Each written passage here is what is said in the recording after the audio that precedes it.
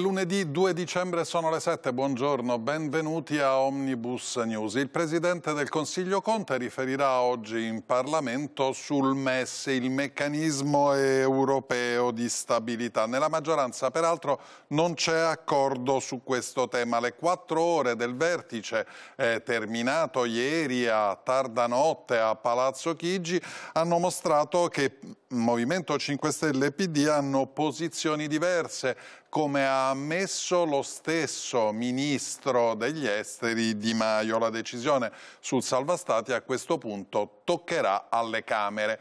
C'è invece l'accordo per un carcere più lungo per gli evasori. Sono stati infatti presentati dalla maggioranza due emendamenti in questo senso al decreto sul fisco, ma la Confindustria non ci sta, è preoccupata per il continuo ampliamento, dice, della sfera penale ai fatti economici e parla di un approccio iperrepressivo. Poi ieri c'è stata una nuova manifestazione delle, del cosiddetto Movimento delle Sardine che si sono ritrovate, ecco vedete l'immagine, in tanti a Piazza Duomo a Milano che era affollata nonostante la pioggia. Sul palco eh, c'era anche lo scrittore Roberto Saviano, altri appuntamenti per le Sardine ieri in manifestazioni a Padova e a Taranto. E poi eh, la conferenza sul clima che si apre oggi a Madrid. Eh, L'obiettivo eh, è quello di eh, contrastare l'aumento della temperatura nei due gradi e alla riunione di oggi ci sarà anche una delegazione degli Stati Uniti pur se Trump ha deciso di ritirare il suo paese dagli accordi di Parigi del 2015 mettendo a rischio quindi il raggiungimento eh, di qualunque obiettivo. Veniamo subito alle prime pagine. Ecco il Corriere della Sera, salva stati, si tratta con l'Unione Europea, dovrà andare Gualtieri a dire eh, che non ci piace, tensione al vertice, non c'erano i renziani, vedete mandato a Gualtieri, il ministro dell'economia, per Bruxelles. Qui di spalla eh, le sardine eh, con la manifestazione in Piazza Duomo. Questa è la Repubblica, così salta tutto, eh, dice il quotidiano romano, eh, tensioni all'estremo al vertice notturno di Palazzo Chigi, appunto quello sul MES, e poi un'intervista a David Sassoli, al Presidente eh, del Parlamento europeo, bloccare la riforma, dice Sassoli, sarebbe una scelta ad, ad alto rischio per l'Italia, anche in questo caso eh, l'immagine è questa degli ombrelli ieri in Piazza Duomo con le sardine. Sapessi com'è strano un mare di sardine a Milano. Eh parafrasando una vecchia canzone. Ecco la stampa, messe il governo appeso al rinvio, quindi le difficoltà nel dibattito. La foto grande è dedicata a tutt'altra vicenda. Bruxelles sarebbe la capitale delle spie cinesi in Europa, questo dice eh, la stampa.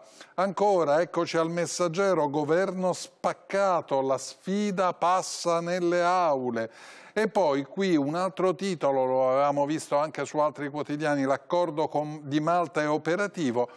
all'Unione Europea i primi 210 migranti, quindi l'accordo per la famosa redistribuzione. Questo è il Sole 24 Ore con un titolo dedicato alle tasse, il Sole 24 Ore del lunedì eh, diciamo è un po' un almanacco, tasse evase 110 miliardi l'anno, vedete la voce più alta è l'IVA, 37,2 miliardi di evasione, poi l'IRPEF del lavoro autonomo e di impresa e poi tutte le altre voci arrivando fino al canone RAI. Ecco il resto del Carlino, il conto degli enti inutili, valgono 13 miliardi, sono tanti e costano questa cifra ogni anno alle casse dello Stato. Ecco il giornale, tasse sia alle manette, è l'accordo appunto sul eh, decreto fisco, PD e 5 Stelle d'accordo solo sul carcere agli evasori. Ancora, eccoci al fatto quotidiano, Benetton senza vergogna è il riferimento alla lettera di ieri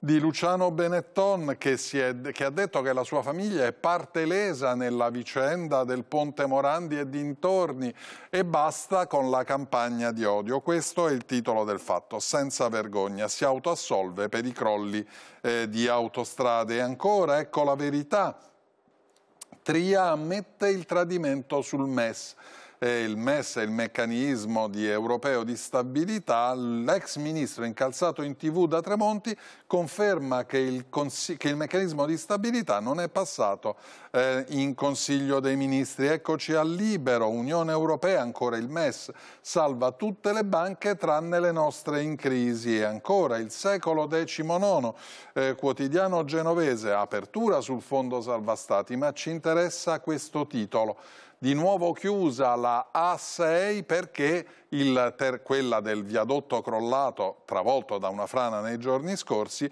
eh, perché la frana si muove ancora e quindi c'è il rischio di stabilità. E infine la Gazzetta dello Sport che registra la notizia calcistica eh, del giorno. Potere Inter sorpasso dei nerazzurri sulla Juventus in cima alla classifica. Ci fermiamo qualche istante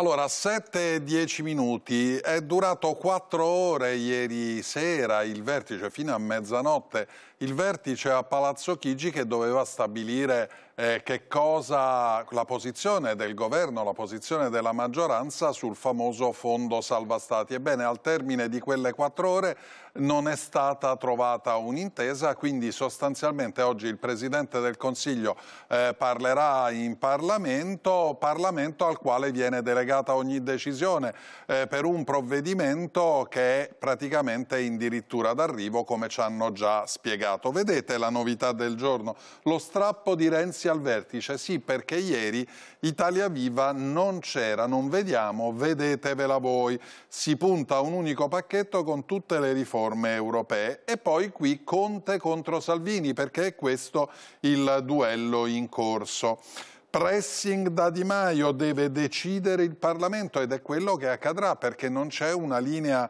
eh, unitaria da parte della maggioranza e poi lo scontro con Gualtieri eh, che è quello che dovrà andare a chiedere modifiche all'Europa, modifiche eh, che al momento appaiono difficili. Vedete, importante e interessante è questa intervista a Goffredo Bettini. E Bettini è uno dei principali, se non il principale consigliere del leader eh, del PD Zingaretti e qui lo dice molto chiaramente.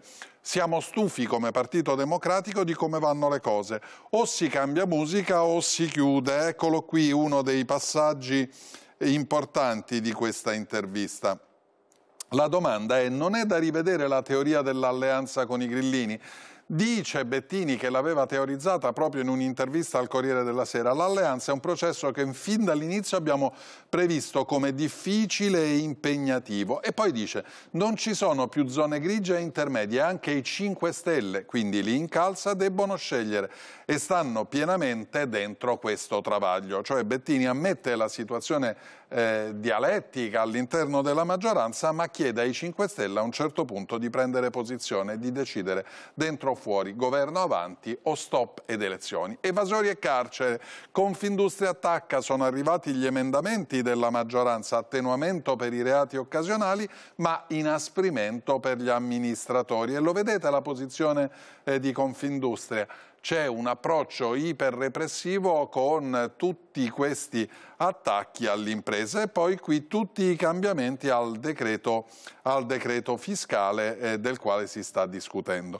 Pagina dedicata a Giorgia Meloni al, ai partiti verso il voto regionale del 26 di gennaio. La sfida di Fratelli d'Italia basta tasse e sprechi. Ieri la, la, Meloni parlava a Bologna dove per la verità c'era anche in una manifestazione separata Salvini proprio per misurare la propria forza anche rispetto alla Lega, è l'alleato più importante in questo momento, almeno stando ai sondaggi. Eccoci invece a Milano, le sardine ieri hanno manifestato, vedete, eh, eccola qui, l'immagine di una piazza eh, di una piazza Duomo, in realtà la manifestazione doveva avvenire lì accanto, ma la gente era tanta, 25.000 dicono eh, gli organizzatori, 15.000 per la questura, ehm, era piena nonostante appunto le avverse condizioni meteorologiche. Sul palco c'era Saviano, il capo leghista, eh, dice ha paura. Ehm, qui una pagina invece che raccoglie due notizie. Da una parte l'inchiesta sulla Fondazione Open, le società di Carrai, ehm, sodale amico di, eh, di Matteo Renzi per i soldi all'estero e qui sotto un'intervista a un personaggio popolarissimo come Francesco Guccini, 79 anni, il cantautore, lui dice non sono mai stato comunista ma voto per il Partito Democratico. In Emilia eh, non passerà la destra, Grillo deve dare una mano e poi naturalmente si dilunga proprio sulle sue posizioni politiche che eh, sono, sono, conosciute, eh, soprattutto per la canzone La locomotiva, ricorderete la fiaccola dell'anarchia e lui dice io sono quello, un libertario. Malta, il papà di Daphne, eccolo qui, Michael Vella, il papà di Daphne Caruana Galizia, dice eh, forse la nostra isola potrà diventare un paese migliore dopo proprio la morte eh, di mia figlia. Ieri ancora manifestazioni eh, contro il governo Muscat. Eh, questa notizia invece è importante, questa pagina è importante perché racconta come sia entrato in vigore il meccanismo eh, operativo, il patto di Malta, dice il Corriere, quello per la redistribuzione dei migranti che arrivano nel nostro paese. È già stato applicato in tre casi e quindi meno pressione sull'Italia. Infine, l'ultimo titolo che citiamo eh, dal Corriere della Sera è questo, si è votato nel referendum per separare Mestre da Venezia, bene, il quorum è lontano. Ha partecipato ieri solo il 21,7% degli elettori, quindi eh, consultazione non valida. Eccoci, eccoci rapidamente ai titoli di Repubblica. Questa è l'intervista al Presidente del Parlamento europeo, David Sassoli, che è molto netto sulla vicenda del MES. Bloccarne la riforma può essere una scelta rischiosa per l'Italia. Fra l'altro eh, Sassoli dice che il dibattito sul MES praticamente avviene solo in Italia a domanda del meccanismo europeo di stabilità, si parla solo da noi. L'altro giorno ho chiesto all'ufficio comunicazione di prepararmi una rassegna con tutti gli articoli apparsi sul MES negli altri paesi del continente. Ebbene, quanti sono questi articoli? Zero, dice Sassoli, che appunto spiega eh, come però ehm, eh, questa insistenza sul voler rivedere potrebbe danneggiare noi. E questa invece è la pagina dedicata al decreto fisco, pene ridotte per l'evasione, ma la Confindustria eh, va all'attacco e parla di un governo iper eh, repressivo su queste, su queste vicende torna la Repubblica a parlare del caso autostrade. Di Maio è andato giù durissimo dopo la lettera di Luciano Benetton ehm, che dice basta con questa campagna di odio contro la mia famiglia per la vicenda autostrade ed è gelo anche fra la famiglia e i manager che proprio Benetton ha chiamato, ha chiamato in causa eh, per i, fatti, ehm, i noti fatti di Genova. Milano cambia piazza, dice eh, la Repubblica raccontando come quel luogo che era stato affollato per Salvini adesso ieri si è riempito di esponenti eh, delle sardine. Sardine eh, che, dice ancora Repubblica, sono oramai alla prova della politica. Il 15 dicembre i gruppi di tutta Italia si riuniranno, eh, una sorta di congresso per quello che in realtà è un movimento. Titolo divertente questo di Repubblica perché racconta, queste sono eh, Sex and the City, una delle serie televisive più famose, ebbene, avevano un simbolo, una delle icone erano le scarpe di Manolo Blahnik. Bene, eh, Blahnik ha chiuso la sua boutique eh, newyorkese. New York è meno sexy, titola con divertimento Repubblica, che dedica una pagina a un italiano che ha vinto una competizione un po' strana. Il super campione di memoria è questo ragazzo romano, Andrea Muzzi, che ha memorizzato, ecco lo devo leggere perché io non lo ricordo, lui sì, 1820 carte da poker in ordine in mezz'ora e poi le ha eh, ripetute una dopo l'altra senza sbagliarne neanche una. Se volete qui lui dà alcuni suggerimenti per come accrescere la memoria, magari non ai suoi livelli. Siamo alla stampa. Questa è l'opinione di Carlo Cottarelli che torna a parlare naturalmente di economia. Dietro lo scontro sul salva stati c'è il problema della riduzione del debito pubblico e ancora intervista al ministro per le regioni Francesco Boccia, liberiamo le regioni dalle troppe autorizzazioni, è una delle spine, come dice proprio la stampa della maggioranza, il tema delle autonomie sulle quali ancora eh, non c'è un accordo. E ancora, questa era l'apertura, era l'immagine forte della prima pagina della stampa, l'allarme che arriva dai servizi segreti, a Bruxelles sarebbe concentrato eh, la centrale diciamo, delle spie cinesi per l'Europa. Si stima che siano 250 gli agenti attivi di Pechino più di quelli russi, quindi pensate quanto considera importante la capitale europea eh, Pechino. Eh, le polemiche a Londra dopo l'attentato, il nuovo attentato a London Bridge, basta libertà vigilata eh, per i terroristi. Johnson, la pena minima di 14 anni e in questo momento vengono rivisti 70 casi eh, recenti. Ancora una piaga eh, sulla quale torna la stampa, quello delle mutilazioni eh, genitali per le giovani bambine africane. Sono 5.000 le bambine a rischio nel nostro paese per questa procedura eh, che purtroppo continua a essere applicata. Allora, questo invece è eh, la verità con un'intervista a Giorgia Meloni. Di Maio, mostri dignità, parla del, del meccanismo europeo di stabilità deve far cadere il governo. Se è davvero contro il nuovo MES, come dice, deve ritirare la fiducia. I numeri in Parlamento eh, li ha. E ancora, sempre sul MES, eh, ma da libero l'intervista al ministro, all'ex ministro eh, dell'economia, Tria, che dice di aver lasciato i conti in regola, piuttosto avrebbe voluto eh, tagliare l'IRPEF. L'Italia non era sul baratro, pronta, avevo pronta, dice, una riforma fiscale e il meccanismo salva stati si può cambiare, poi ieri c'era stato questo scambio con Tremonti, come riferiva anche la verità, eh, sul fatto che era passato, se fosse passato o no, in Consiglio dei Ministri. E dal Messaggero invece attingiamo il titolo su uno dei temi in discussione in questi giorni, che è il caso di Alitalia. Sta per arrivare l'ennesimo prestito ponte, stavolta da 450 milioni di euro, perché ancora l'accordo per la nuova compagnia che dovrebbe eh, salvare la, eh, la, la compagnia aerea non c'è.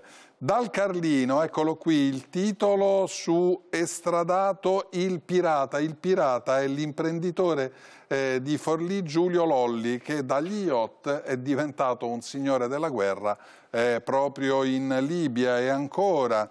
Eh, sempre dal Carlino, il titolo dedicato ai 13 miliardi che ogni anno ci costano i cosiddetti enti inutili eh, consorsi, centri, sigle bizzarre. Questo è l'ex ministro Calderoli eh, quando diede fuoco a una serie di eh, leggi inutili a questo proposito. Terminiamo con l'ultimo titolo, riguarda la Liguria eh, dove credo torni il maltempo, ce lo dirà Paolo Sottocorona, ma dove ha chiuso di nuovo la A6, quella dove era caduto il viadotto perché la frana si è mossa di nuovo. Paolo, buongiorno, quali sono le condizioni meteo? Buongiorno, buongiorno. Allora, ancora abbiamo eh, questa, questa, fascia che prende dalla, dalla Liguria verso il nord-est dove sono attesi fenomeni ancora di una certa consistenza per non dire intensi, c'è in realtà, non so se riuscite a vedere, una traccia di temporali proprio al confine fra Alta Toscana su, sull'Appennino tosco-emiliano. Eh, situazione che piano piano si attenua, quindi eh, non vedrei una, uh, un, un, aumento, uh, un'intensificazione di questo maltempo sulla, sulla, sulla Liguria mh, nello specifico ma magari anche una certa attenuazione di questi fenomeni.